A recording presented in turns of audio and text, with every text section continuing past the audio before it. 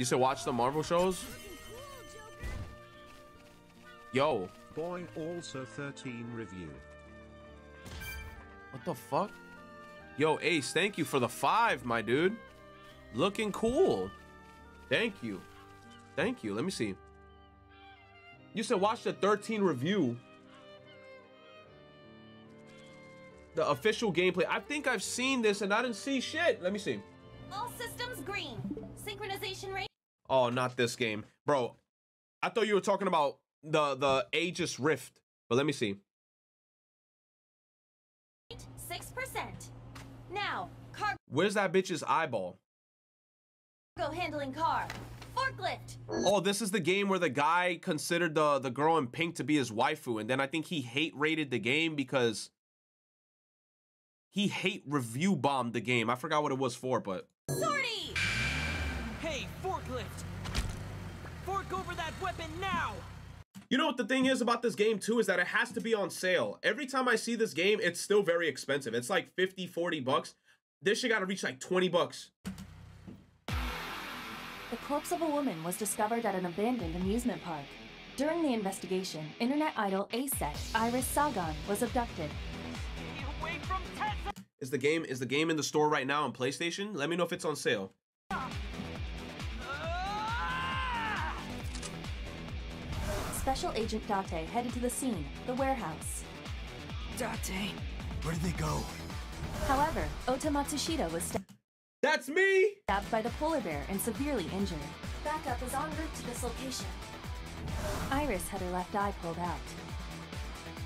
Date, Aiba, go to the warehouse again and investigate. The head of Abyss, Boss, ordered further investigation Mm, I'm about to play this game just for her fine ass. And she got the fucking lips, bro. She got the smolder lips. immediately. Is it of concern? I am Aiba, Date's artificial eye. I am perfect for times like this. I can I don't know who I, who is that, but I want her toes. use special functions to help Date's investigation. The Odoroki Man chocolate left at the crime scene. I finally Oh, this is some Danganronpa style shit. Is this really like similar to Danganronpa?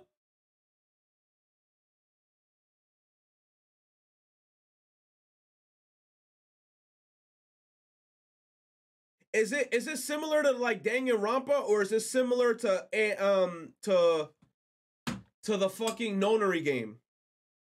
Like like if you were to compare this versus Danganronpa and and the Nonary game, like wh- where would this game land?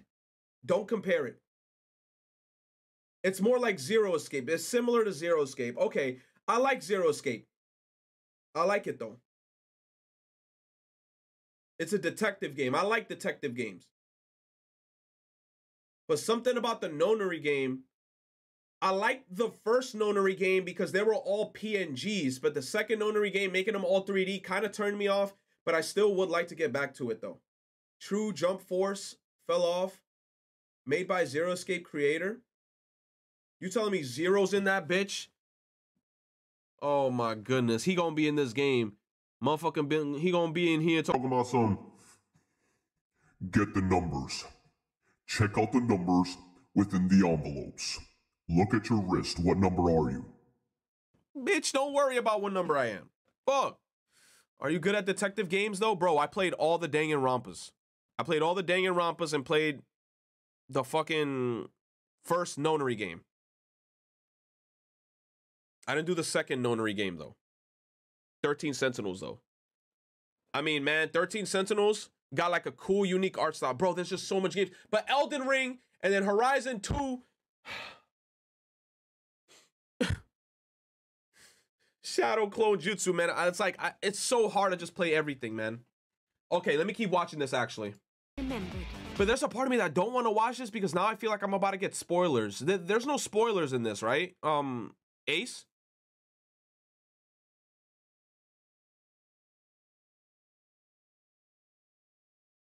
Didn't play Danganronpa S. What the fuck is Dang- Danganronpa S? He says no. You wouldn't catch it. Okay. About the warehouse. Judging by the fingerprints, it was purchased by Mayumi Matsushita. Grandma got some big ass things though. Mayumi. I want milk. Shida. But why? Date visited the hospitalized Ota and interrogated him. still get information. Boss got dick sucking lips, bro. I'm all for boss. Look at those lips. Inside his head. Sync. Date, as you know, the limit is six minutes. You can only stay in Somnium for six minutes. Pewter looks funny. The funny. sync system allows you to dive into the subject's subconscious mind. There, you can find leads that even the subject themselves may be Seems to unaware of. Iris is about to be. Stop right there! The heavens call. The earth cries out. The crowds roar. All calling on me to strike back against evil. I will protect Tessa. Uh, is this from the stream we saw earlier? This is Ota's memory of it. Humans all possess secrets, trauma, and guarded psyches. They are what we call mental locks. By solving them within the time limit, you can go deeper into the mind, get closer to the truth. Oh, why would you show me this now? Oh my god, this game looks so interesting. I you know what's crazy? I've seen trailers of this game before, but I didn't see full in-depth gameplay of what it was. I usually just saw cutscenes of shit happening. And a lot of the time, people who showed me cutscenes of this game, I wouldn't watch it because I'm like, I don't understand the context. I would just be so confused. Date is linked with me, an advanced artificial intelligence. Through me, he can investigate a subject's somnium.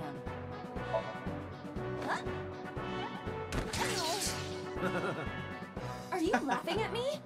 Ota's Somnium World, a world for Ota created by Ota. Position target in the center and hit the switch. Position Remember, the dream world does not obey the laws of reality. That's right. I can't be scared now. I have to stand up.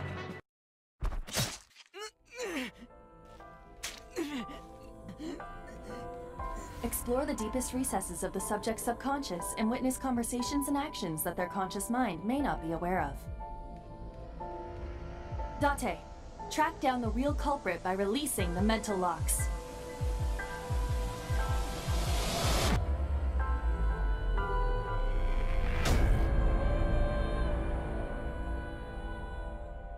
Ooh.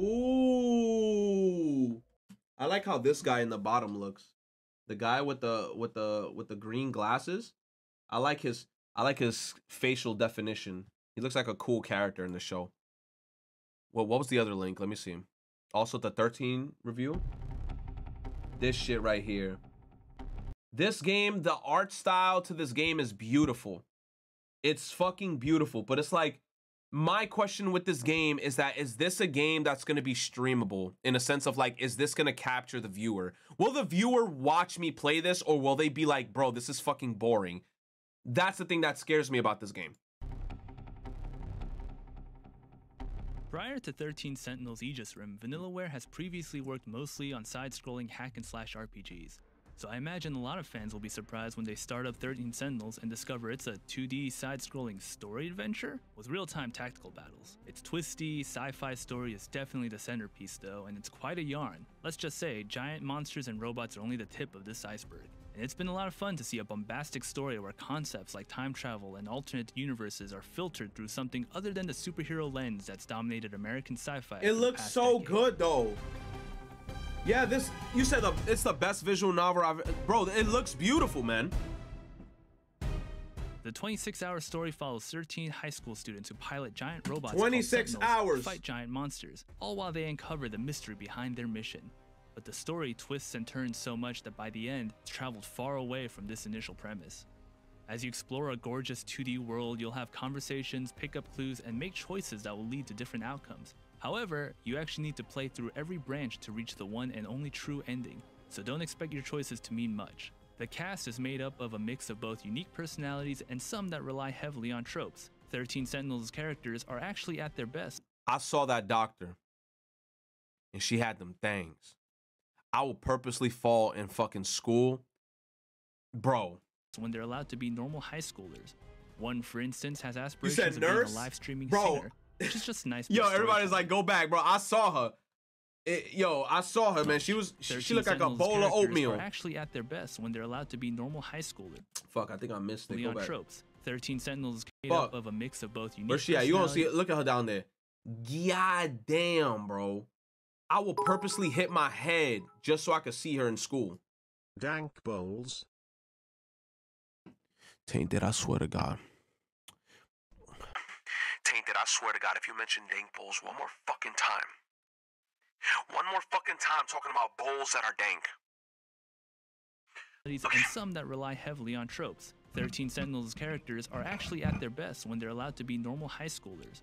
One, for instance, has aspirations of being a live streaming singer, which is just a nice bit of storytelling.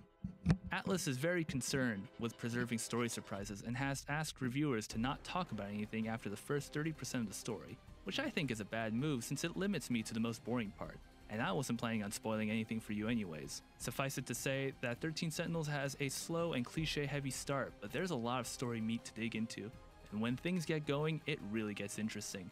This can sometimes get confusing because it relies heavily on made up jargon, and with a bunch of side characters across all 13 intertwining storylines, it's enough to make your head spin. But there are some good recaps throughout to reorient yourself with. Vanilla games are lauded and sometimes criticized for their art style. Although highly detailed, its scantily clad men and women with exaggerated proportions can border on cheesecake. In 13 Sentinels, though, the artists have been reined in a bit for the character designs. While the results are still unmistakably Vanillaware style, these characters, for the most part, look like high schoolers in a typical anime. There's still fan service in places, like when a buxom woman appears wearing a cleavage showcasing motorcycle outfit, People are mad for fan service.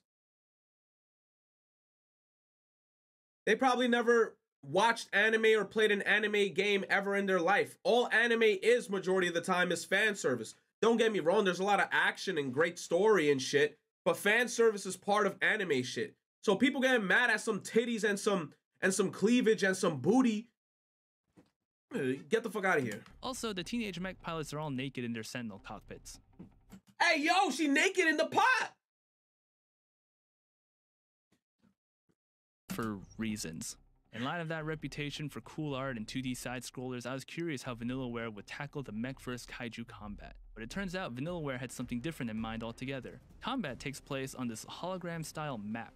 It may not be the awesomely animated 2D mech versus kaiju slugfest I'd imagine, but these real time tactical battles have their own unique visual flair as well as a respectable amount of depth to them. You'll face literally hundreds of kaiju, and there is a specific kind of on wiping out entire portions of an enemy horde with a well placed missile barrage. Each Sentinel has unique specialties such as melee, range damage, flight, and all rounders. So if you know that you'll be facing a lot of flying enemies, it's best to load up your squad of 6 Sentinels with anti air capabilities to counter them. Depending on your mech specialty, Wait, but my question is, is how the fuck they go from having a school life and and like you know, does it go from school life to this? Is is that the reason why people are like just play the game? Because it's like we can't say why. You see, that's the thing. So that's why they they want you to play the game. There will be unique Because I'm like, I'm thinking it's a school life game, and then out of the blue, they're just like, oh yeah, by the way, mechas, you got to start blowing shit up. weapons like long range missiles or guardian sentries, and there's room to customize them to your playstyle as well. It's possible to have a melee unit that can dabble in range attacks, or a flight unit that deals heavy melee Is the whole game voice acted? Or is it only like some portions that are voice acted? Fabrinsky just said yes. Full voice? Play damage. Pilots will also learn special skills which are unique to them and give them special buffs. I found a balanced approach works best, so my team comps always contained at least one of each type of sentinel. But however you like to play, you'll want to level up your sentinels fast because the difficulty will ramp up quite suddenly. It's going to suddenly feel very overwhelming with the number of kaiju on the field, and having more powerful sentinels will help you clear them faster. Sure, you can turn down the difficulty to easy and just focus on the story, but I found that just made the battles boring to sit through. A special mention goes to the localization team. The voice acting hasn't been translated to English in time for launch, so there is a lot of text in 13 Sentinels. That includes loads of sci fi jargon. Wait a minute, they just said that there's no voice acting. Fully voiced in English or Japanese?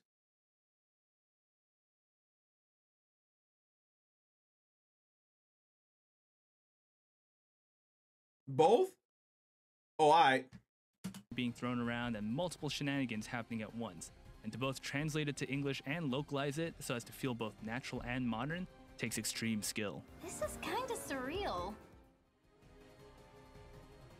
Vanillaware games have always looked great, but 13 Sentinels is the first time the studio has put a bulk of its focus on storytelling, and it pays off. This revival of classic sci fi ideas hits all the right notes and goes deep without overstaying its welcome, even at over 20 hours long. And while Vanillaware's attempts at doing something different with combat by branching out into real time tactics to portray its city scale mechs vs. kaiju warfare is commendable, the storytelling and rich characters undoubtedly do all the heavy lifting in making 13 Sentinels an enjoyable journey. For more story and strategy, check out our reviews of Crusader Kings 3. I gotta wait for these games to hop on sale then. So next time these games do go on sale, let me know. Cause I'll I'll definitely I'll definitely consider probably copping them. You said 10 out of 10, bitch? Damn, you said 10 out of 10? Yes out of the yes? You said I might replay it on PC? Wait, what the fuck is...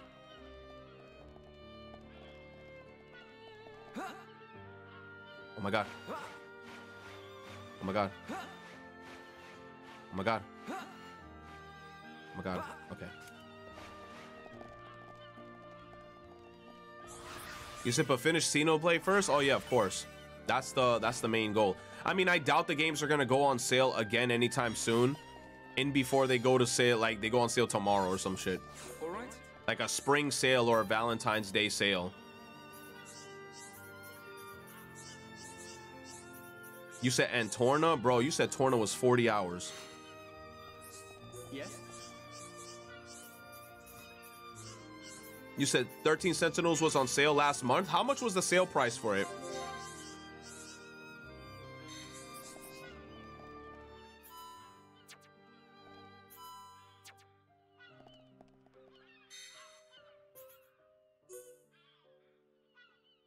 Seven thousand experience? Oh my god, collect the tear of the sky from distant fingertips on fallen arm. What? Target not found because it has to be, he said, a what, a thunderstorm? So when the fuck does, oh my god.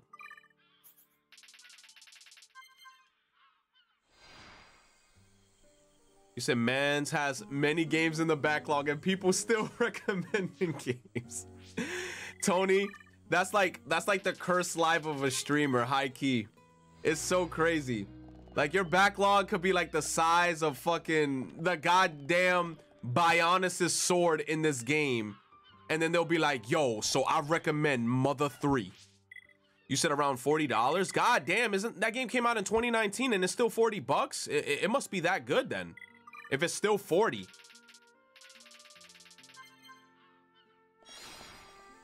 Like I thought it was gonna be like at least 20. I mean at most 20 to 25 or some shit.